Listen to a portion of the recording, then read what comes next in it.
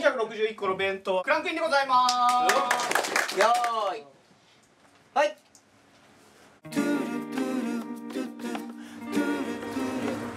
まずお弁当作りそうじゃないですか。真面目ですね。影の努力を惜しまない人だなと思って。毎日何かを持って現場に来てくれる人で監督このセリフなんだけどとかストーリー的にここをこうした方がいいんじゃないかとか提案してくれてやってった感じですかね。この話いただいた時にもう彼の顔しか浮かばなかった。圧倒的な透明感と1718でしか出せない危うさみたいな、まあ、会った瞬間このこと間違いないなと思った。はじめさんもおっしゃってましたけど震災で人生観を持たれたこう表情で一回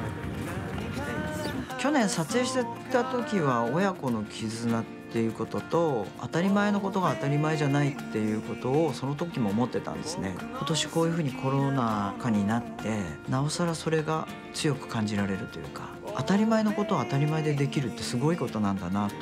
思ったのでこの作品を見てくださった方が何気ない日常って素晴らしいんだよっていうことを感じてお帰りいただければと思います。